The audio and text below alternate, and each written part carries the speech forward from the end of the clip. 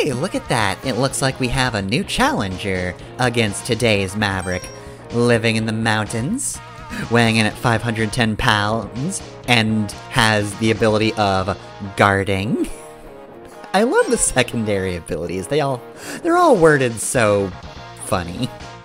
Alright, so today we're up against Armored Armadillo. The guy who wasn't mentioned in Day of Sigma at all. A few of them weren't. Really, only a couple of them made appearances or got mentioned. So, yes, this is a playable Zero hack.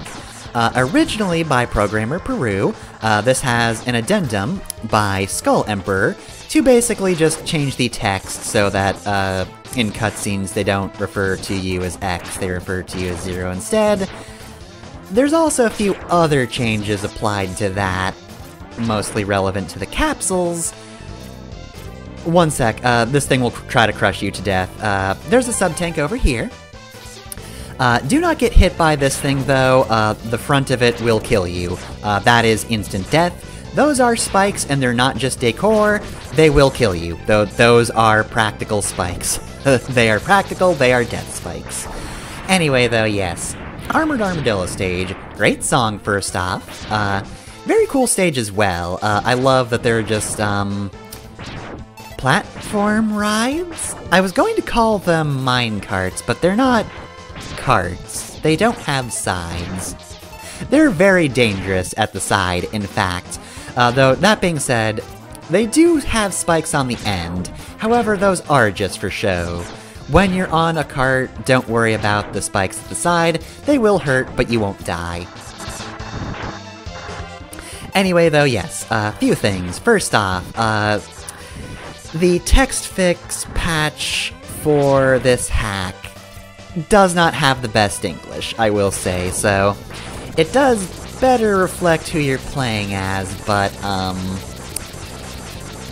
it kind of needed proofreading. Anyway, though, uh, by destroying that thing early, uh, before it can destroy the wall, you can also get a health upgrade.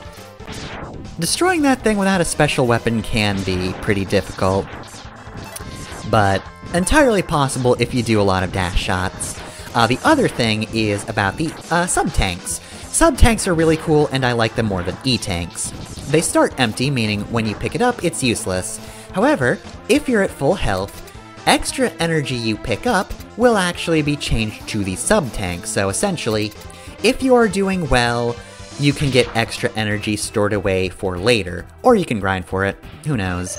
Anyway, other than making Zero playable, this is also a hard mode hack, which uh, did catch me by surprise. I was only half reading the text, if I'm being honest. I just thought, oh cool, playable Zero, I want that.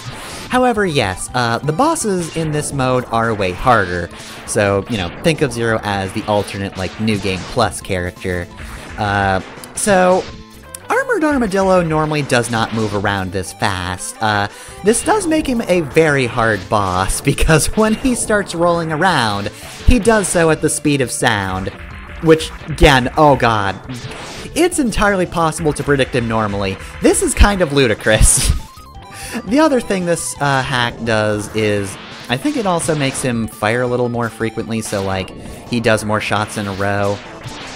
You might also notice that when he takes a defensive stance, if you hit him with a buster shot, he can basically just intake that energy, release it to an attack, but that's very predictable.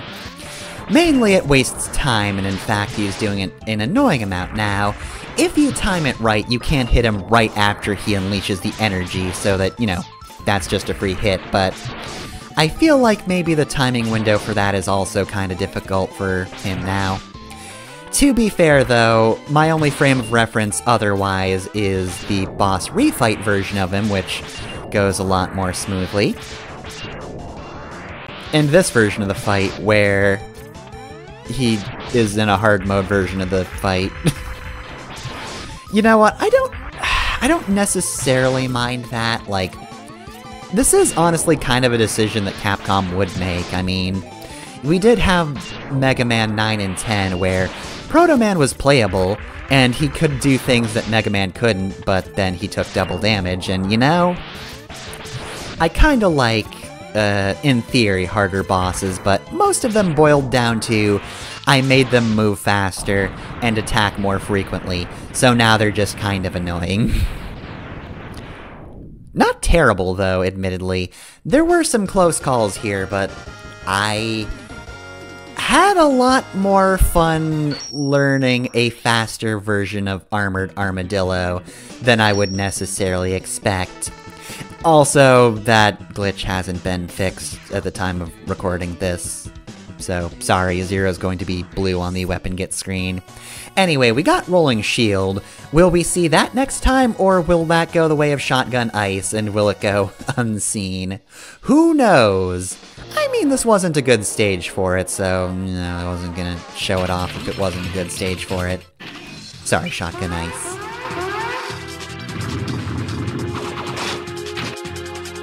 I am under strict orders to protect this mine.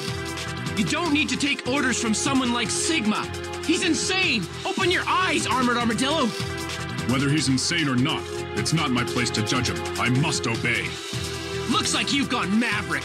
I'm taking you out. Enough talk. I'm ready to obey my orders. Enough talk. Let's fight!